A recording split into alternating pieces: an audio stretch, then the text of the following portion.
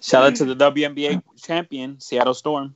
Oh, Seattle. So now that's a team. See, that's a team. That they show teamwork and Breanna Stewart. Teamwork.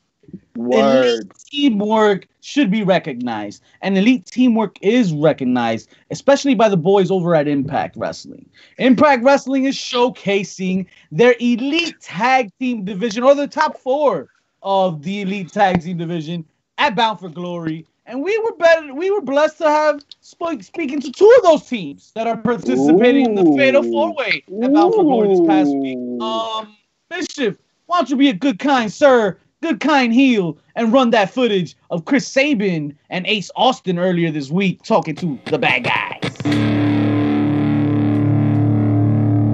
Thanks for the opportunity, guys. Appreciate it.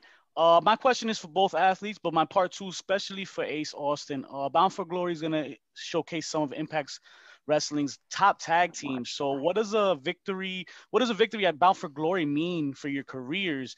And my part two for Ace, uh, how long before you and Madman take over the entire tag division over at Impact? Well, I think Bound for Glory is obviously the perfect time for that. So, how many weeks we got till Bound for Glory? That answers your question right there. Uh, as far as a win at Bound for Glory goes, I mean, just have a look at what it did for me last year. Just just one year ago, became X Division champion, shot straight to the main event, main event slam anniversary. Here we are, one year later, tag title time. So, yeah. Nice. Vic, did you have a question for Chris Sabin as well? Yeah. Also, what what what would what would a victory here against all these tag teams mean going forward for Motor City, and and what are we looking at for the future? I think it would solidify our dominance over these teams. It, it would prove why we are the champs, and we would show everyone, you know, it's it's it's a vindication, you know. It's so, uh, you know, it, it's we're the champs right now, and if we're the champs afterwards, then we can say, all right, see you four teams. Now you guys are back at the bottom of the ladder, and we're gonna go wrestle um, the Deaners and and Triple XL and all these guys that are waiting their turn. Awesome.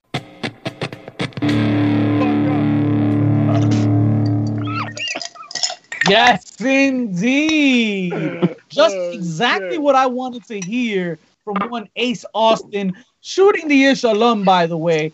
The man is ready for greatness. He's destined for it.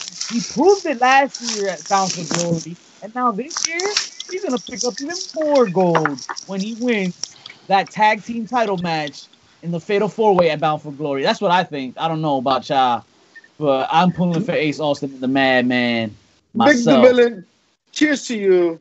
We're doing big things over here. You gotta celebrate the Got little to. and the big things. Size does matter. Uh, you know,